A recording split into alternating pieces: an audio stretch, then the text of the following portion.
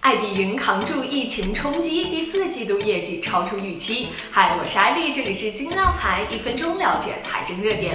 周四呢，全球共享民宿巨头爱彼迎 Airbnb 是发布了 IPO 以来的首份财报。财报显示呢，爱彼迎去年第四季度的收入为八点五九亿美元，虽较二零一九年同期的十一亿美元下降了百分之二十二，但这一数字仍然是超出了分析师的预期。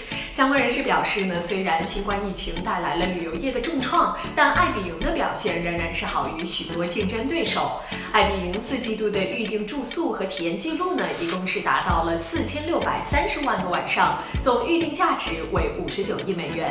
爱彼迎首席执行官表示呢，从二零二零年的表现可以看到，爱彼迎具有坚强的韧性和适应性，并表示正在为旅游业的反弹做准备。那您对爱彼迎之后的走向有何看法呢？欢迎给我们留言分享。